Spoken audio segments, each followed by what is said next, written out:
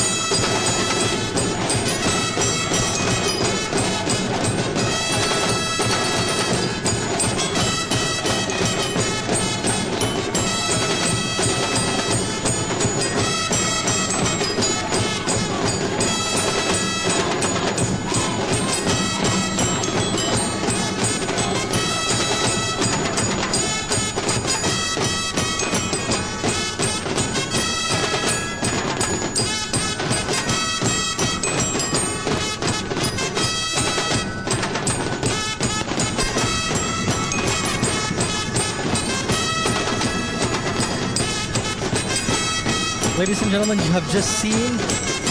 free interpretation number 14 that's Tribu Mahugyao or Florencio Orot Memorial National High School.